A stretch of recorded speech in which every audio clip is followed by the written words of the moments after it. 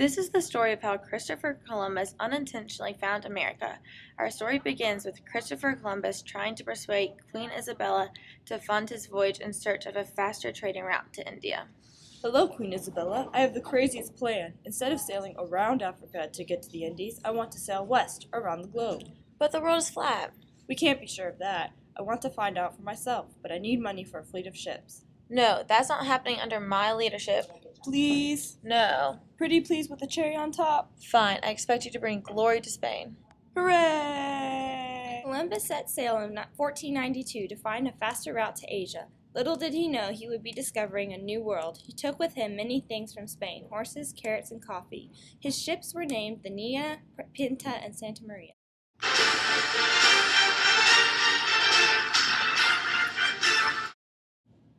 Columbus and his crew braved the stormy seas. Within a few months, they hit land, not in the Indies, but in America! While looking for treasures to bring back to Spain, Christopher Columbus came across Native Americans.